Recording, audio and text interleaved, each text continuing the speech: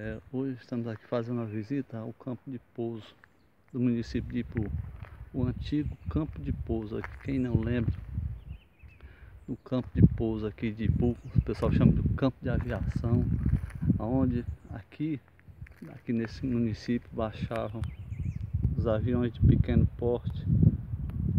Aviões de pequeno porte aqui nesse município eram frequentes. A região da Ibiapaba, o Ipu o Ipu era, pioneiro, o Ipu era protagonista, mas que com o passar dos tempos, com o passar dos tempos foram, foram o município de Ipu foi, foi ficando para trás. O município de Ipu foi ficando para trás e hoje se encontra o nosso campo de pouso no abandono total. O abandono total é, pista aqui já não existe mais, como quero aqui mostrar para vocês né, algumas imagens. Pista no campo não existe mais. Nós estamos aqui numa pequena parte, mas o restante aqui é onde era, onde seria a pista, onde aviões. Quem não lembra de tantos e tantos governadores que aqui pousavam, quando vinham para qualquer município aqui da Serra da Ibiapaba. Quem não lembra de vários deputados estaduais, deputados federais, aqui nesse mesmo local, aqui era o local de espera desse pessoal.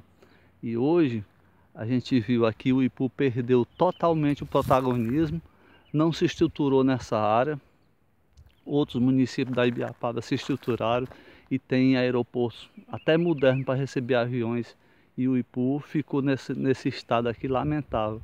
Eu como vereador, eu já apresentei projeto na Câmara de Vereadores para que esse esse campo de pouso fosse completamente restaurado, com ampliações da pista e das instalações de embarque e desembarque, e a gente vê esse abandono que hoje se encontra o campo de pouso aqui. Como a gente consegue ver, são muitas, ó, juremas pretas, onde era a pista hoje, é, não dá nem para se, que se possa andar, de jeito nenhum.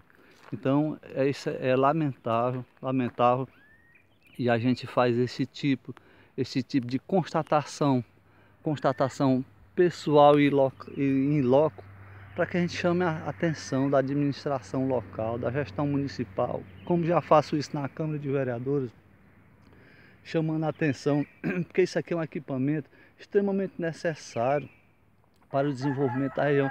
O IPU não pode deixar de ser protagonista, como eu já disse aqui, quantos governadores, quantos deputados estaduais, federais, quantas autoridades não vinham para cá. Eu lembro de estar presente aqui por diversas vezes esperando as autoridades aqui. aqui. Então o IPU perdeu esse referencial. O IPU perdeu que nós não podemos nos acomodar com isso de maneira nenhuma e deixar achar que isso é simples. Não, isso não é, isso não é legal para o município. O IPU perde em todas as áreas, perde o protagonismo dentro da região da Ibiapaba e nós mais uma vez queremos aqui chamar a atenção das autoridades para que isso aqui não possa se tornar o que está aqui. Olha, não existe mais pista.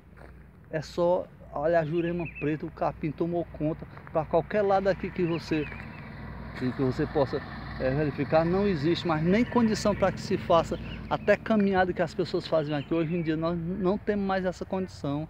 E eu quero aqui chamar a atenção das autoridades locais, das autoridades estaduais, para que a gente possa é, dar um, um, fim social nisso aqui, para que isso aqui possa ser aproveitado pelos, pelos ipuenses, por aqueles, por aqueles que necessitam é, de, de pousar, ter que pousar em São Benedito, porque aqui o Ipu não existe mais o campo de pouso. Isto é lamentável e nós queremos aqui chamar a atenção das autoridades para que dê um, um fim nisso aqui para que a gente possa fazer essa restauração como fiz já o meu trabalho na Câmara de Vereadores, fazendo essa fiscalização aqui e apontando solução e, e trazendo uma propositura, um projeto para que a gente possa é, é, novamente fazer um, um, campo de pouso, um aeroporto no município de um mini aeroporto, para que a gente possa receber nossas autoridades e nossa cidade passar, passar a ter valor e protagonismo dentro da Ibiapaba. Um abraço a todos, esperamos que isso aqui possa ser solucionado o mais rápido possível.